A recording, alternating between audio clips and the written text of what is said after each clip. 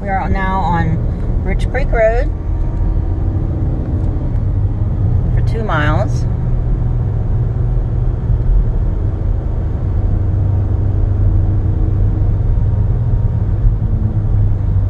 Getting in higher elevation. So beautiful. Look.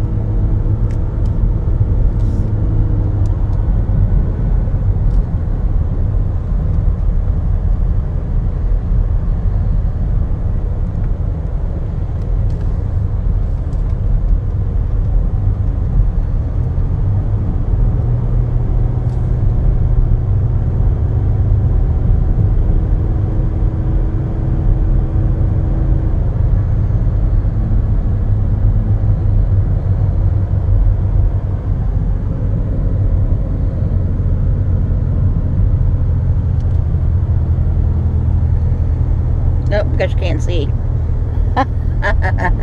Sorry about that. I was trying to I was on my right, all you can see the van window.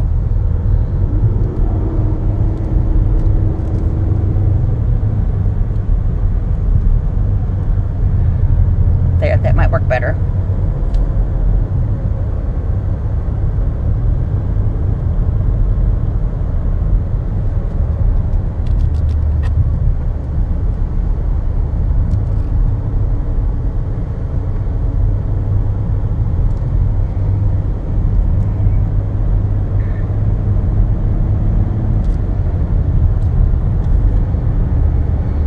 You get up here, closer to where she's at, prettier it gets. A little more remote too.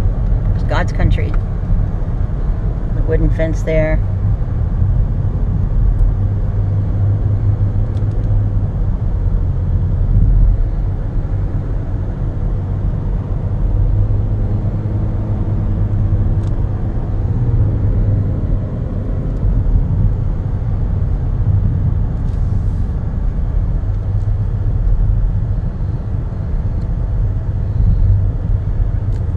Hmm, what is that?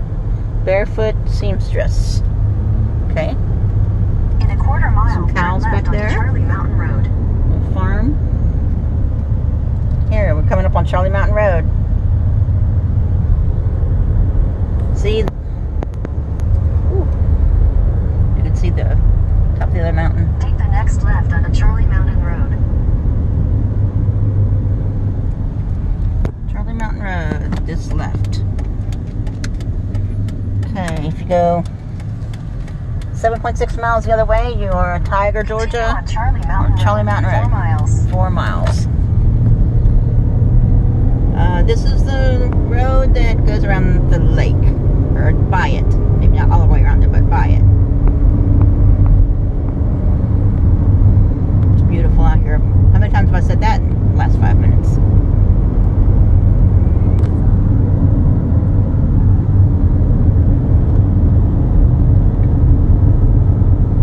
My friend told me about um, on, the, on another road up from where her dad's place is. He li- lives on Blue Ridge Gap Road. There's another road. I think it might be Germany Mountain Road. Um, there's actually they found years ago when she was uh, before she was grown. Um, like you could get spring. There was like a spring, and it was I don't know how it got to it through the rocks or or somehow. But anyway, they would go up there and get fresh water.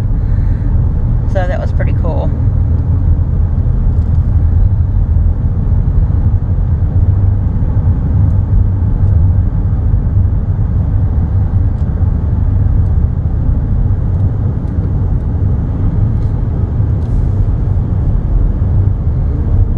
So the drive up here was from Cumming. I took uh, some side roads over to Highway 9. Uh, took Highway 9 up to Dawsonville. And then went up, just turned right on Forest Creek Road to uh, Georgia 400 till it ended. Then you just go up a few miles turn right on uh, Highway 115 over to, to, Cleveland. Then you turn left on Appalachian Parkway. Make a couple turns, brings you up this way. Uh, I can't remember all the roads. I have I can look at my map, but not right now.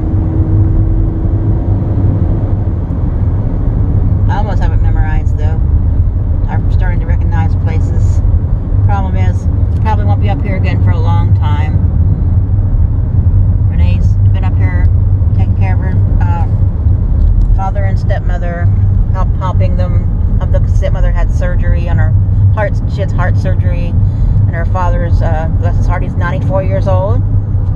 So uh, she was in the hospital for quite a while. So she came up to look after her dad and to help her stepmother uh, after she came home from having surgery. She had quite a hard time, but now she's got a clean bill of health.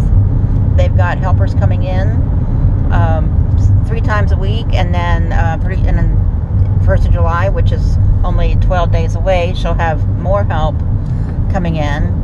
Uh, so they'll be in pretty good shape, so she can get back to um, her life and take care of her health. I know she loves being up here, but there's nothing like sleeping in your own bed. Being able to watch what you want to watch on television. It's really hard um, being a caregiver when you're isolated without, you know, she didn't have transportation up here um, for certain, you know, multiple reasons. Uh, and it's just hard when, you know, her stepmother was in the hospital, so it's just her and her dad. She couldn't go anywhere, uh, you know, even to get groceries. I guess, you know, she had to have someone come take her to the store and then she could leave him for an hour or two to go to the grocery store. But, uh, you know, it's just constant. I took care of my dad. Um, and I, you know, I wasn't alone with him 24 hours a day for, for a month or anything. I had, my, you know, my mother would come home from work in the evening and, and um, my sister was only a couple miles away. And, you know, so I had family around, so it was a little easier. But it gets very, very hard they they had the sundowner syndrome, or they you know they get um, there's they they get um, very hard to handle. They they it's almost like they get into a type of uh, I don't know how to what the word would be, like you have uh, uh, episodes or something like that. Oh, that lake is so beautiful right there. People were swimming in it, boats out. So she needs a break. It's very hard uh, when you can't get a break and you know uh, sometimes you just can't even sit down. Uh, it's hard to even go take a shower sometimes. Just have to constantly be on on the watch and take you know cooking and getting their meals getting their medicines and, and just keeping up with them. There's no telling where they might walk off to. You really have to um, keep your eye on them at all times. And then with a, so another person you know recovering from surgery who needs help uh, you know and uh, she's a diabetic so you have to um, make sure she has the right foods and and you know prepare their meals. Well, she's a good cook. Uh, she really had it down. She was working with the uh, caseworkers and stuff to uh, make arrangements for them to have more care. So that was great. So she did a good job, and now it's time for her to, to get her break, to get a rest. And she's confident that they'll have help. I think I'm supposed to turn left here. Not there up on this road. Take the next left onto US 76 West. Okay, so if you go to the right, you'll be on Timpson Creek Farm. So we're at on the outskirts of Clayton, Georgia. We're going up into the mountain, higher up into the mountain, shall we say.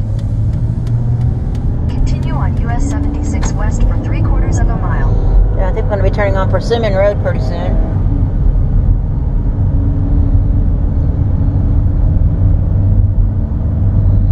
But I sure wish I still had my father. My father died when he was 71 years old.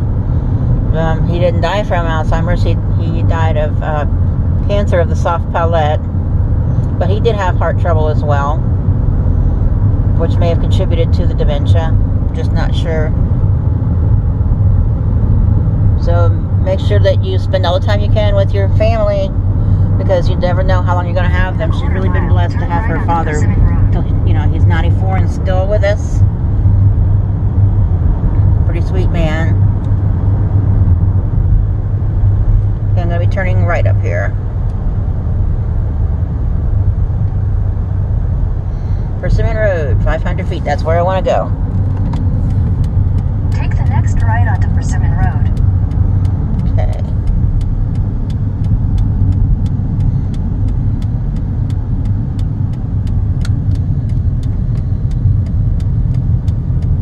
Continue on Persimmon Road for two miles. I laugh because there's a um, there's a road up here. I think it's called Devil's Branch, and there's a church. Uh, I don't know if it's Church of God or if it's just a church. Anyway, so the name of the road is like Devil's Branch Church. I'm sure they get teased about that a lot. They probably have a lot of Christian sayings, you know, like, um, um, you know, something about they're going to defeat the devil or something. But anyway, it's cute. Uh, coming up, coming up on a fire station. Tallulah Persimmon Fire Department number three. Okay, I'm gonna get them back on my side of the road. So we're gonna go up here and turn right on Persimmon Creek Road.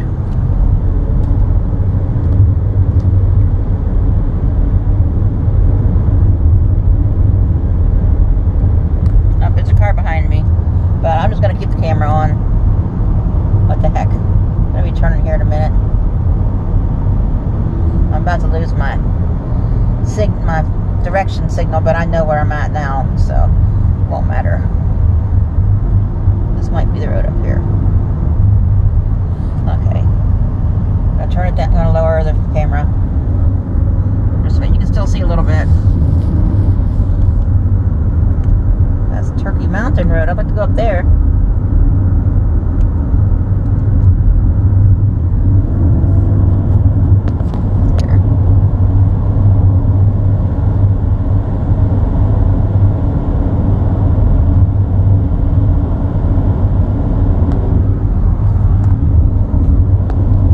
Sorry.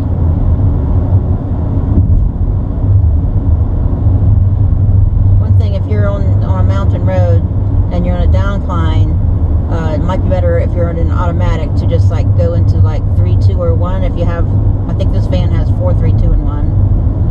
Uh, so you can just kind of like downshift a little bit instead of riding the brake because you will wear your brakes out.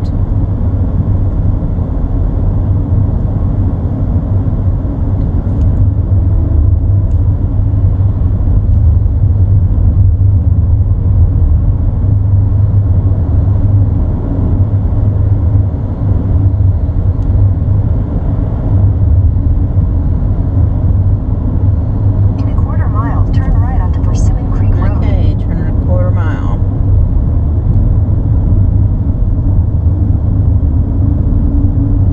And we can take our time driving home. Just wanted to get her picked up and get off the mountain road way before dark. I mean, Renee knows where she's going, but I prefer Take to the next right onto be Persimmon back in Creek familiar Road. territory.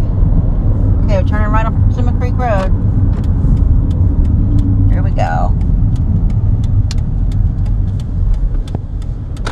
Continue for two miles. Me say it? It's beautiful up here. There's a little pond. Oh, you know, that truck's following me. I didn't want it to follow me. Darn. Well, you know what? It's too bad. He's gotta, I gotta share the road with him, but I just like to be by myself so I can film. I wanted, this is what I wanted to film the most, is this road, because it's the prettiest ever. We're real close now. We're just about five minutes away.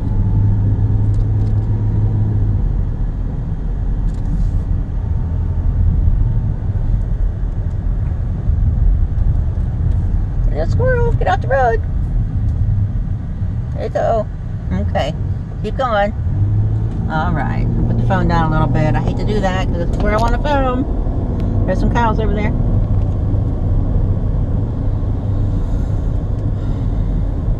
Wish I didn't have to have this truck behind me. I want to film this road. I know I need to get a thing for my phone. All right. See, there's crossing this little bridge little creek down there. I don't know if that that that might actually be Persimmon Creek. I think it is. Ooh. I don't think a tractor trailer could get through here with those low power lines. Barely get a camper through. Oh, yeah, there's that creek. Okay. Now. Whoa. About dropped the phone. Okay, yep, there's this. Yep, I know you can't see it, so why am I doing that? I have to go past their driveway and turn around at, at this vineyard. Um, there's, there's just some very multi-million dollar properties up here. Her father owns seven acres up here. Lots of nice woodsy property. He used to he used to be a hunter, so he was all about hunting. He built their house that they're in. He's he was quite uh, quite the handyman. Very knowledgeable, hardworking. He taught Renee how to work hard. Some people can't handle working that hard. Oh, see, this is this is awesome. My dad worked hard too. He was a fighting CB in the World War II in the Navy, construction brigade. He taught people how to swim. He went he went to Okinawa. Um, then he um, so he then he he built houses, and then when he got out, he was in the um, demolition business. So he would build houses and tear them down. and then um, he was a truck driver. Oh, he was a fab. He was a welder at uh, Rouserville Fabricating and Welding. Um, then he he was an owner operator truck driver. Did that for many many years. Um, he moved the family to Florida, where um, some of my family still lives, and my sister is going back that way. The one that's I have a sister in New York State. She's trying to get back to Florida. Um, waiting on some business to be taken care of, some paperwork to be signed. Um, and then uh, after that, he was a tankerman on this, on the tugboat that would haul oil up and down the St. Johns River. He was the cook on the boat. Then he uh, he retired from that, and he still did some part-time truck driving. And my my youngest my brother, I have uh, one year younger than I am. Uh, he would they worked together for a while, driving truck uh, through Florida, you know, in, In inside mile, the state of Florida. destination will be on the left. And he he he taught me how to maintain my car. Oh, I need to go this way. This is where I messed up before. Okay.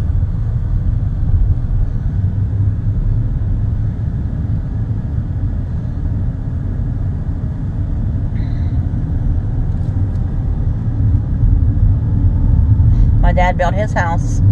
Uh, my brother uh, Brad, he's five years older than me. He owns it now. He bought the property from my mother after my father passed away, and my mother and I is on the moved to Palatka so she could be closer to her doctors and the hospital and the dialysis center because she she was on dialysis the last couple years of her life. Okay, I'm about to be at my friend's house, but I have to go up here and turn around at this vineyard because the driveway right there is pretty steep. But I think this is God's country.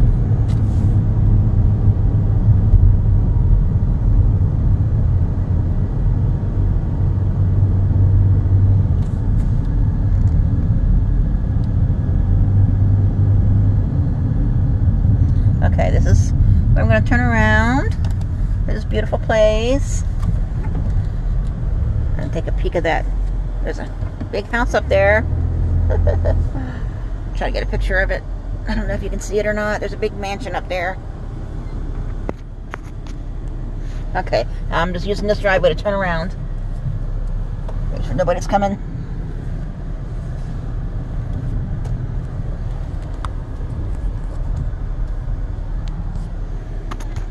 Okay. Uh, right. Turning around.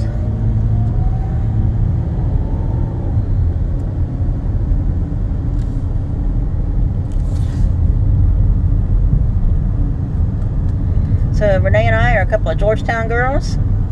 Grew up in the country. She's a river. She calls herself a river rat. She can fish.